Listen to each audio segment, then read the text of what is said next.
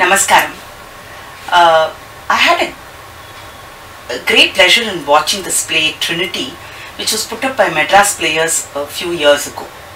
And once I heard that this 90 minute play has, you know, expanded or they've included more uh, content and uh, made it into a 120 minute play, I'm very much looking forward to seeing it. This was uh, a very nice theatrical experience. The backdrop was very good, the direction was very good, and to bring in three very important uh, legends of Carnatic music, Muthuswami Dikshitar, Tyagaraja Swami and Shama Sastri, in one storyline where all three of them are somehow brought in the last climax together during Sitama's wedding, Sitama being uh, Tyagaraja Swami's uh, daughter's wedding.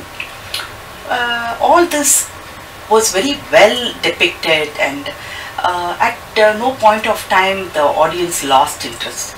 I would think that uh, much credit goes to uh, the writer Sita Ravi and the person who translated Justice Pr- Prabha Sridevan and of course the director Mr. P.C. Ram. But most important is I think the choice of the artist, like uh, taking uh, Vijay Siva sir for um, Vidwan Vijay Siva for enacting as Muthuswami Dikshitar or uh, Dr. S. Sunder for Tyagaraja Swami's role.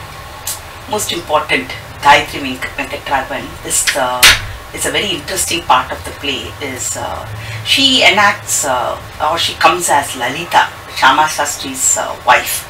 So Shama Shastri's life or we get a peek into his life through her eyes, uh, which was a very interesting way of uh, depicting or narrating it.